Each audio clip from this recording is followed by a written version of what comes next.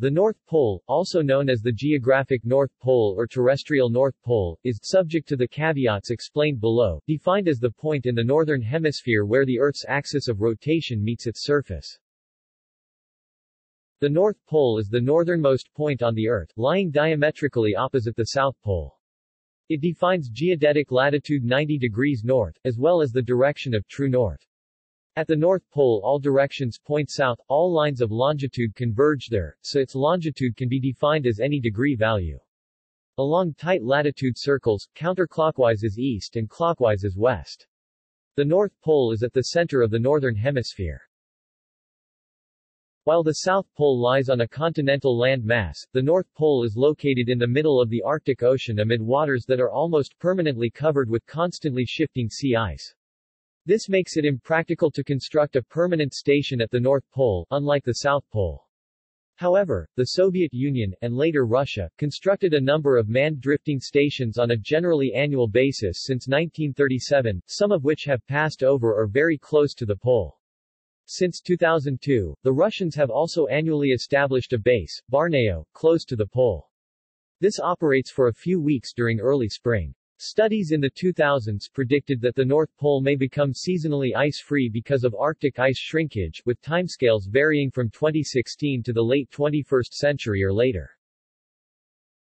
The sea depth at the North Pole has been measured at 4,261 meters 13,980 feet by the Russian Mir submersible in 2007 and at 4,087 meters 13,410 feet by USS Nautilus in 1958.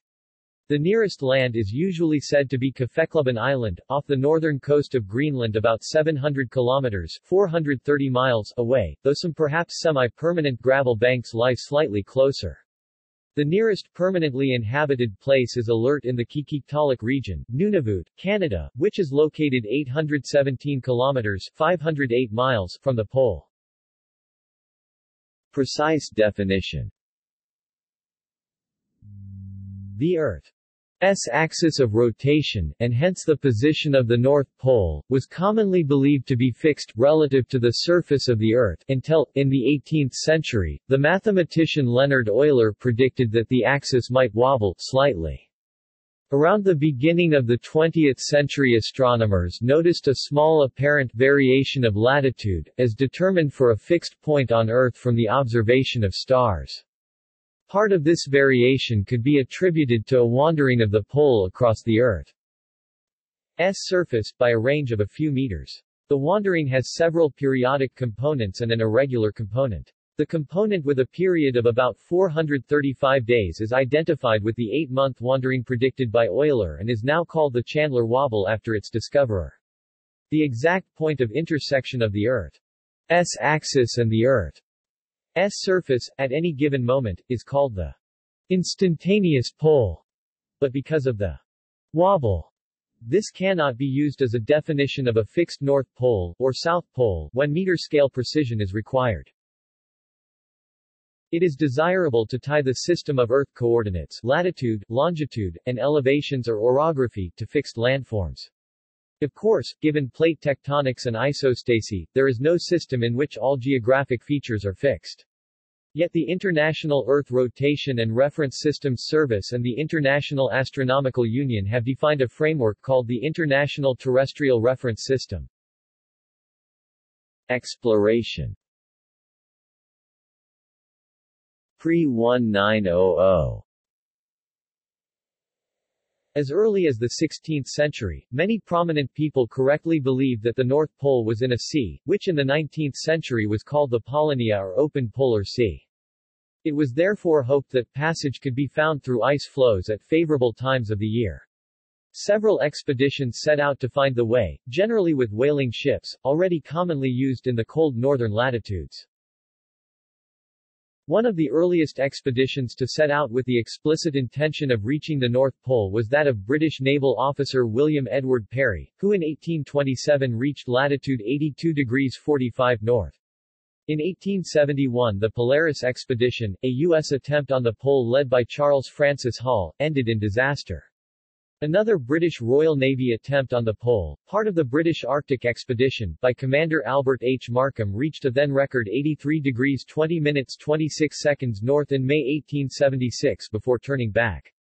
An 1879-1881 expedition commanded by U.S. naval officer George W. DeLong ended tragically when their ship, the USS Jeannette, was crushed by ice.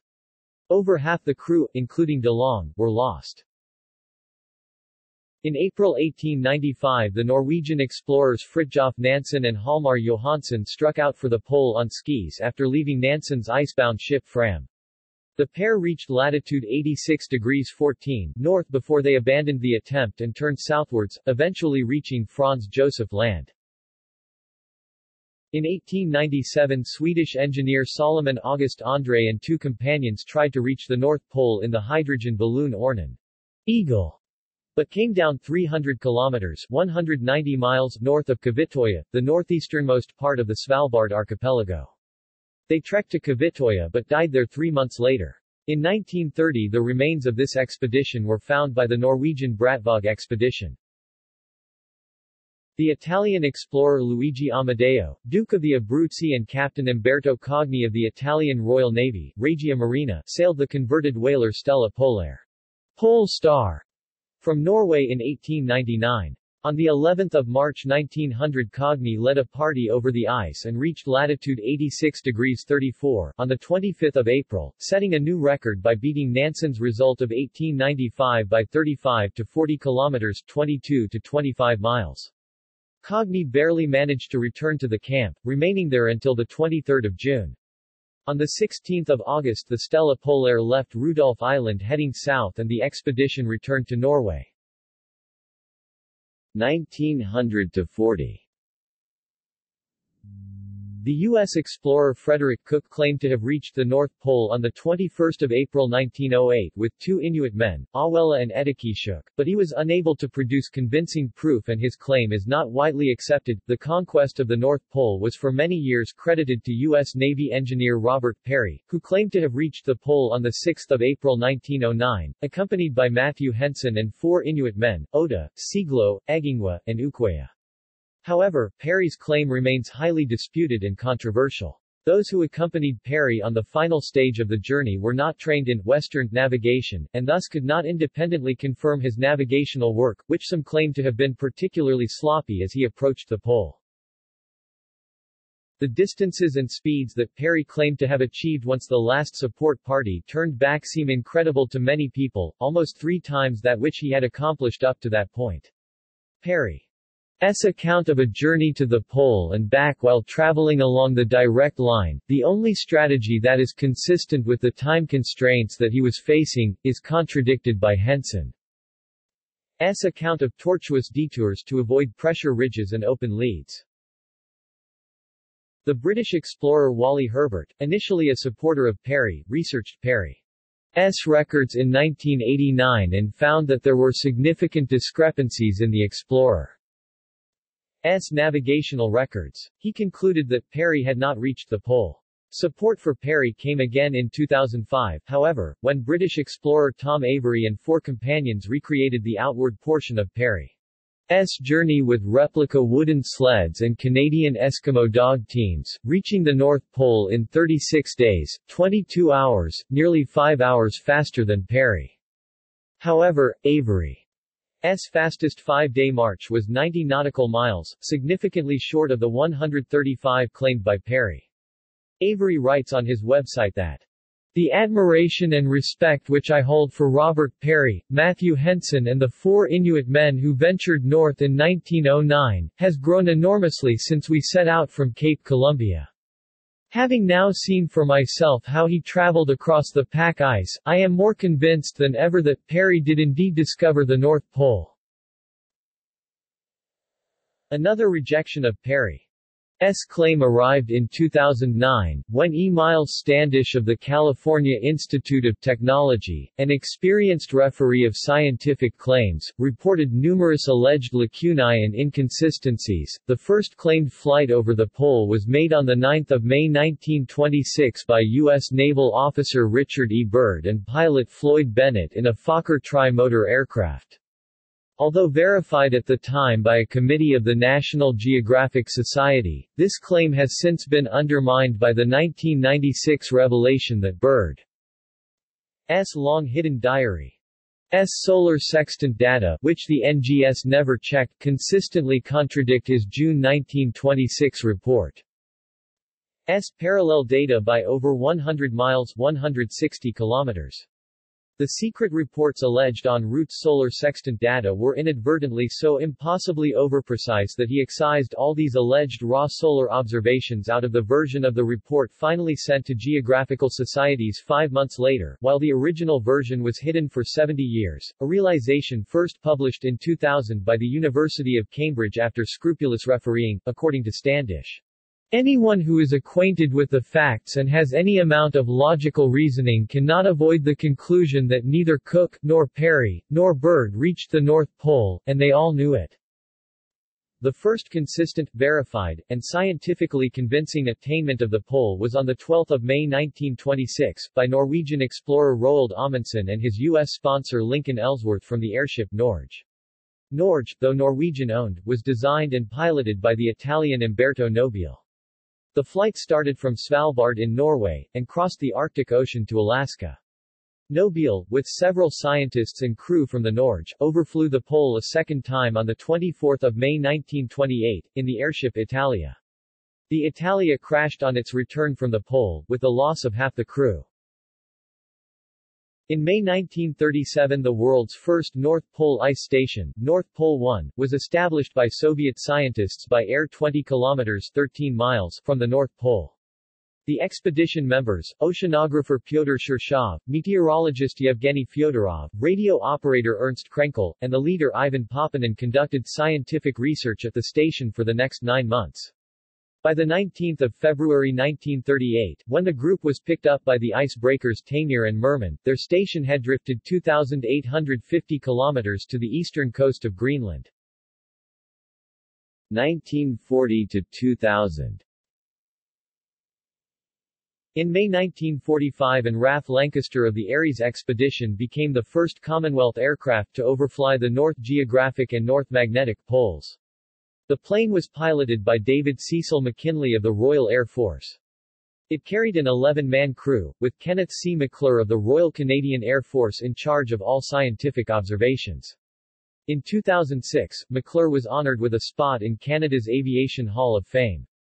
Discounting Parry S. disputed claim, the first men to set foot at the North Pole were a Soviet party including geophysicists Mikhail Ostrekin and Pavel Senko, oceanographers Mikhail Somov and Pavel Jordenko, and other scientists and flight crew 24 people in total of Alexander Kuznetsov. S. Sever II expedition, March to May 1948. It was organized by the Chief Directorate of the Northern Sea Route.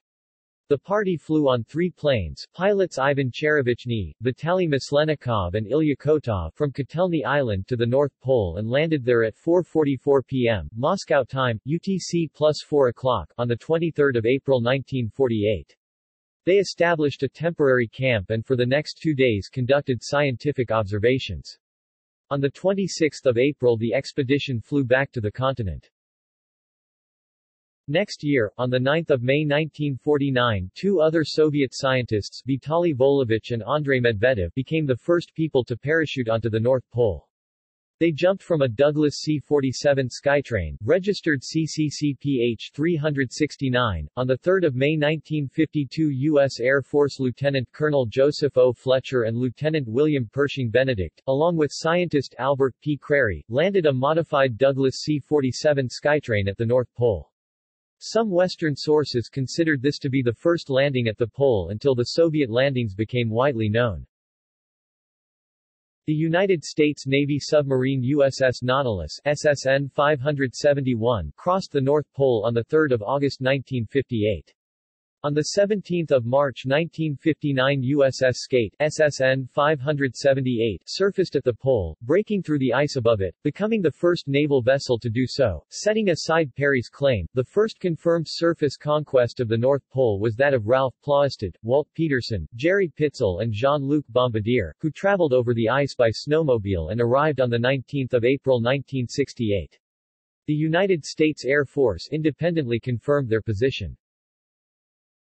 On 6 April 1969 Wally Herbert and companions Alan Gill, Roy Koerner and Kenneth Hedges of the British Trans-Arctic Expedition became the first men to reach the North Pole on foot, albeit with the aid of dog teams and airdrops.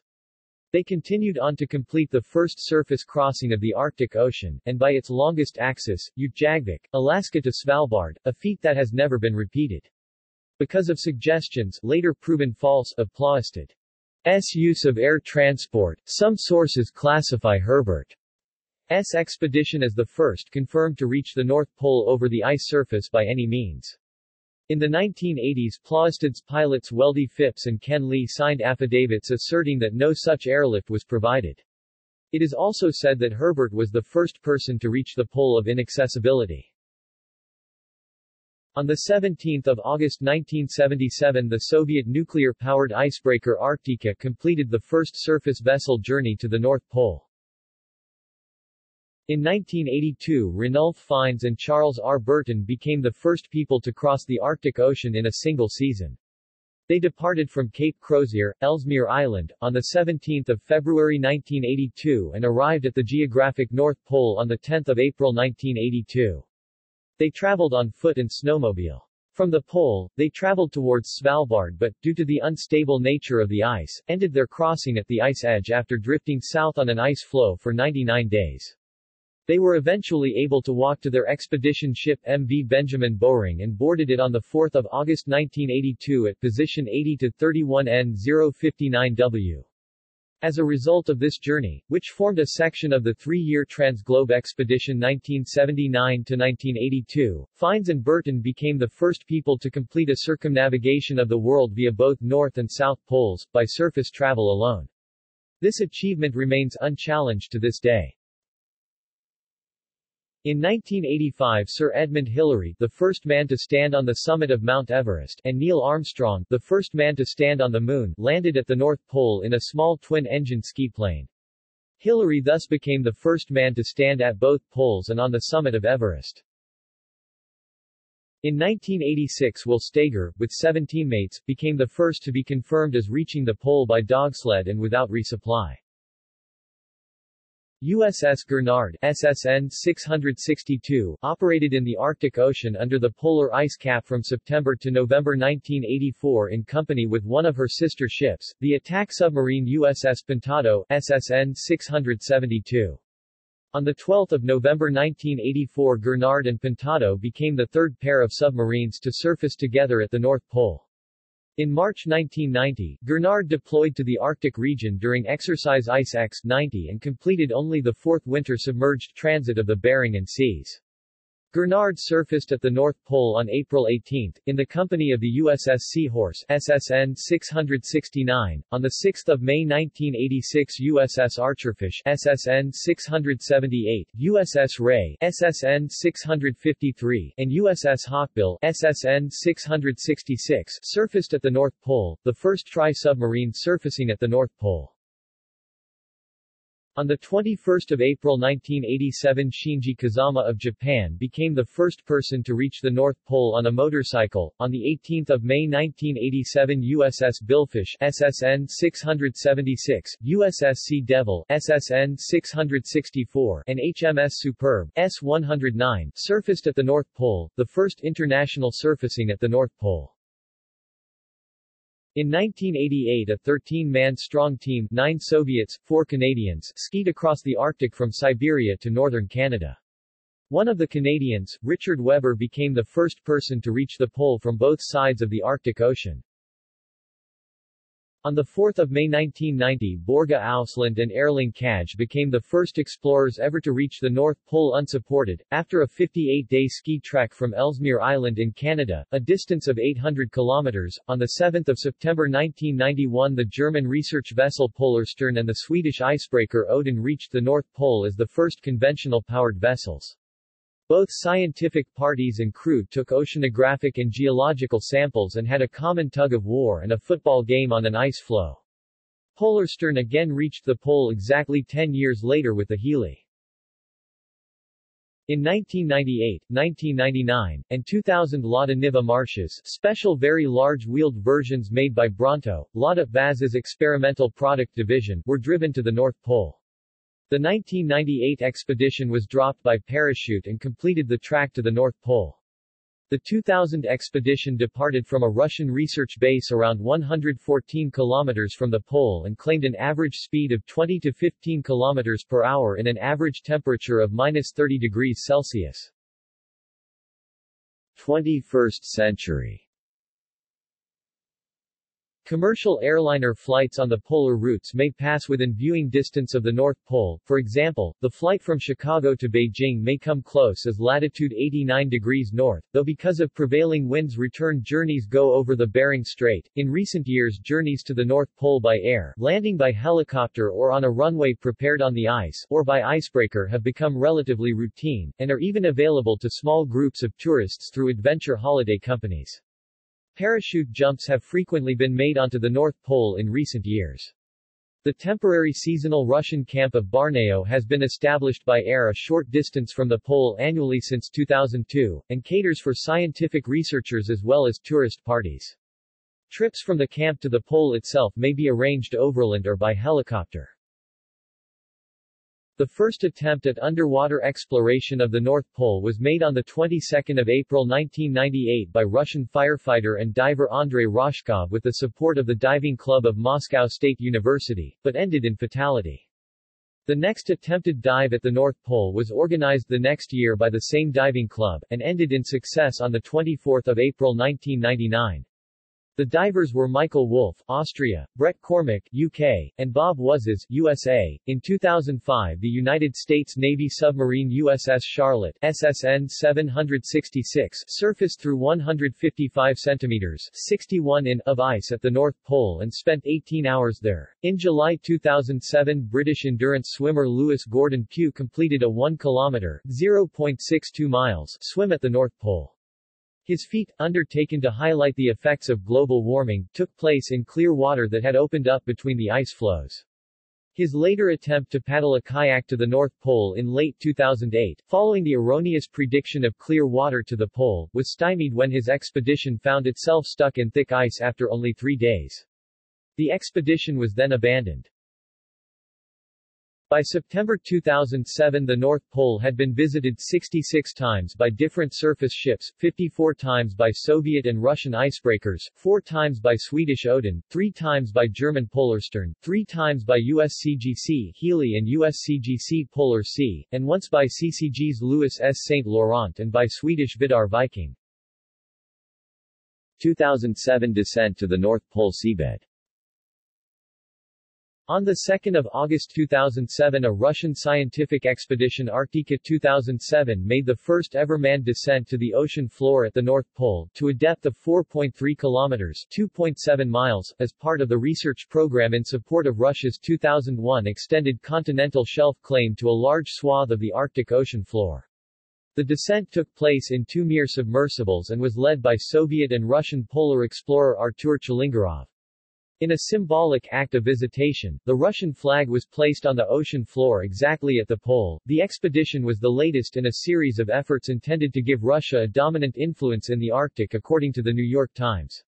The warming Arctic climate and summer shrinkage of the iced area has attracted the attention of many countries, such as China and the United States, toward the top of the world, where resources and shipping routes may soon be exploitable. MLAE 2009 expedition.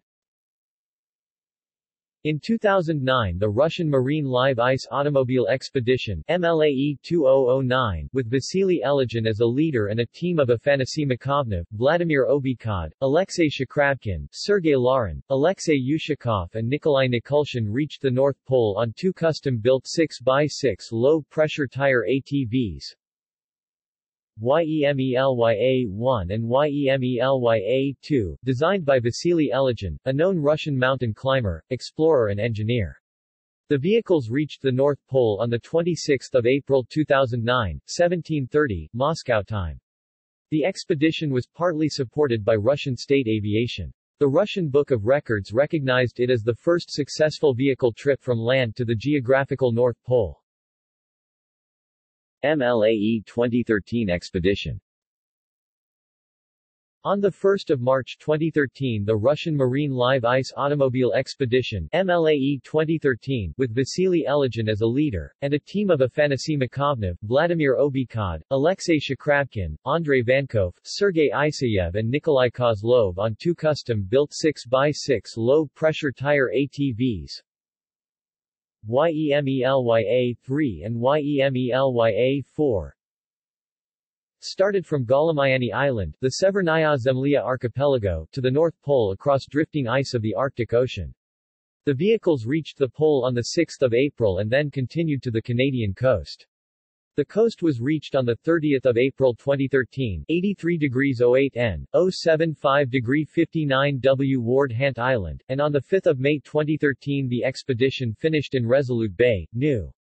The way between the Russian borderland Maktovy Island of the Severnaya Zemlya archipelago, 80 degrees 15 N, 097 degree 27 E, and the Canadian coast Ward Hunt Island, 83 degrees 08 N, 075 degree 59 W, took 55 days. It was approximately 2,300 kilometers across drifting ice and about 4,000 kilometers in total. The expedition was totally self-dependent and used no external supplies. The expedition was supported by the Russian Geographical Society. Day and night The Sun at the North Pole is continuously above the horizon during the summer and continuously below the horizon during the winter. Sunrise is just before the March equinox, around the 20th of March. The sun then takes three months to reach its highest point of near 23 and a half degrees elevation at the summer solstice, around the 21st of June, after which time it begins to sink, reaching sunset just after the September equinox, around the 23rd of September. When the sun is visible in the polar sky, it appears to move in a horizontal circle above the horizon.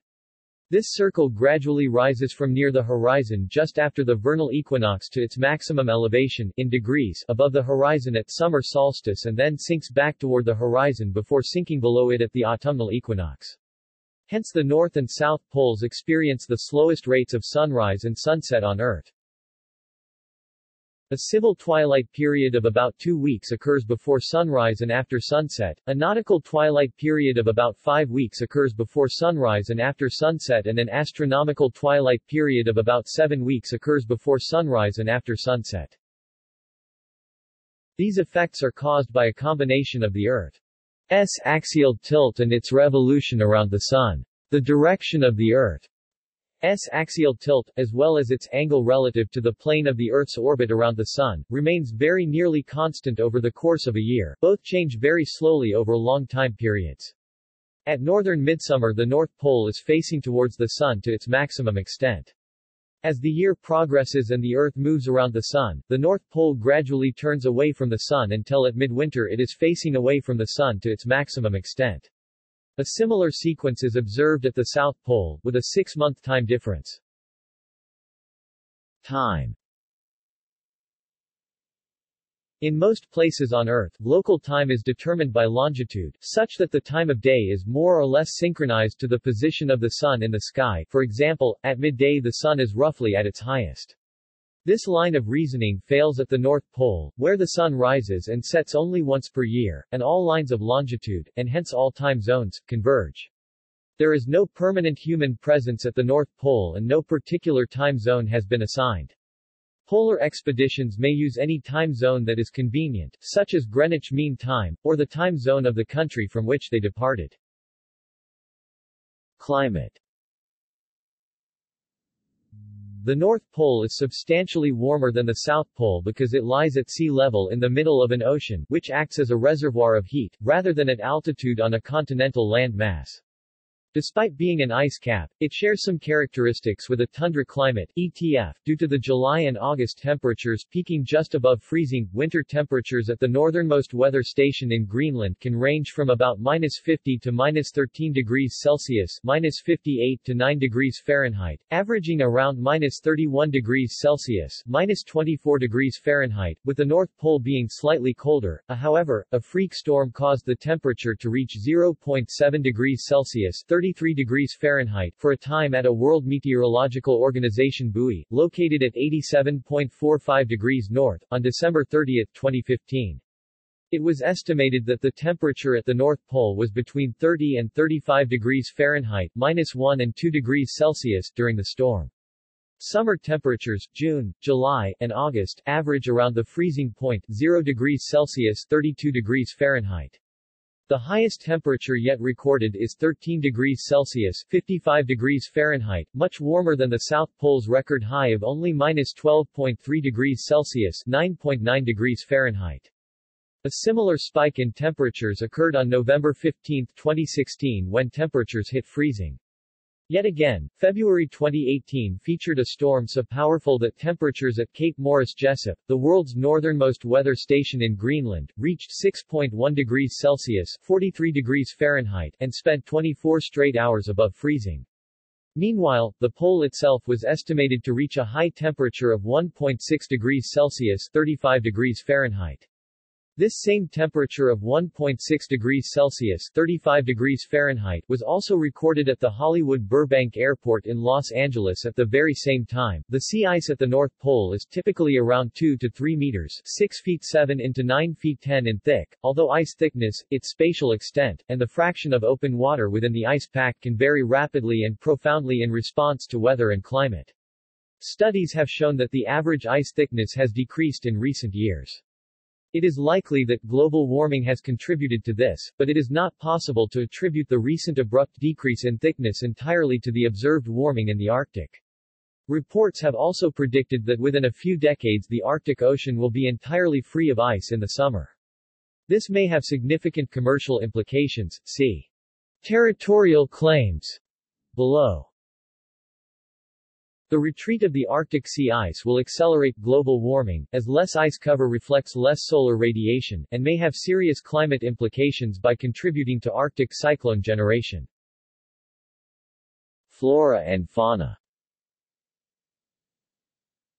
Polar bears are believed to travel rarely beyond about 82 degrees north owing to the scarcity of food, though tracks have been seen in the vicinity of the North Pole, and a 2006 expedition reported sighting a polar bear just 1 mile 1.6 kilometers from the pole.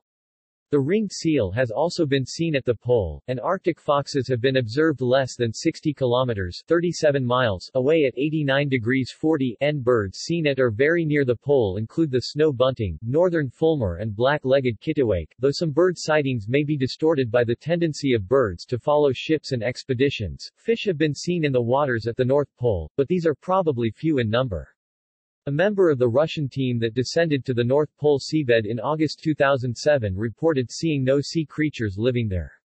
However, it was later reported that a sea anemone had been scooped up from the seabed mud by the Russian team and that video footage from the dive showed unidentified shrimps and amphipods. Territorial claims to the North Pole and Arctic regions Currently, under international law, no country owns the North Pole or the region of the Arctic Ocean surrounding it. The five surrounding Arctic countries, Russian Federation, Canada, Norway, Denmark via Greenland, and the United States, are limited to a 200 nautical mile 370 kilometers, 230 miles exclusive economic zone off their coasts, and the area beyond that is administered by the International Seabed Authority. Upon ratification of the United Nations Convention on the Law of the Sea, a country has 10 years to make claims to an extended continental shelf beyond its 200-mile exclusive economic zone. If validated, such a claim gives the claimant state rights to what may be on or beneath the sea bottom within the claimed zone. Norway ratified the convention in 1996, Russia ratified in 1997, Canada ratified in 2003, and Denmark ratified in 2004 have all launched projects to base claims that certain areas of Arctic continental shelves should be subject to their sole sovereign exploitation. In 1907 Canada invoked a sector principle to claim sovereignty over a sector stretching from its coasts to the North Pole. This claim has not been relinquished, but was not consistently pressed until 2013. Cultural associations In some children's Western cultures, the geographic North Pole is described as the location of Santa Claus's workshop and residence, although the depictions have been inconsistent between the geographic and magnetic North Pole. Canada Post has assigned postal code HOHOHO to the North Pole, referring to Santa. S traditional exclamation of ho ho ho. This association reflects an age-old esoteric mythology of Hyperborea that posits the North Pole, the otherworldly world axis, as the abode of God and superhuman beings. The popular figure of the pole-dwelling Santa Claus thus functions as an archetype of spiritual purity and transcendence. As Henry Corbin has documented, the North Pole plays a key part in the cultural worldview of Sufism and Iranian mysticism. The Orient sought by the mystic, the Orient that cannot be located on our maps, is in the direction of the north, beyond the north, owing to its remoteness. The pole is sometimes identified with a mysterious mountain of ancient Iranian tradition called Mount Qaf, Jabal Qaf, the farthest point of the earth.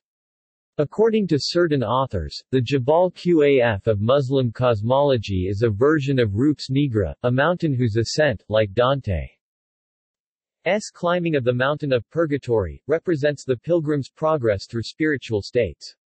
In Iranian theosophy, the heavenly pole, the focal point of the spiritual ascent, acts as a magnet to draw beings to its palaces ablaze with immaterial matter.